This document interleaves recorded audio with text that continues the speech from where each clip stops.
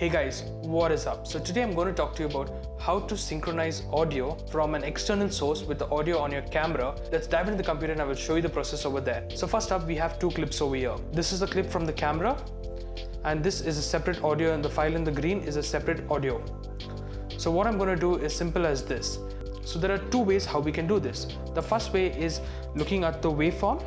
So if you look at the waveform, you, you have to try to match approximately how close the waves are and that's one way how we can do it. Another way of how we can do it is that there's an option called synchronize over here.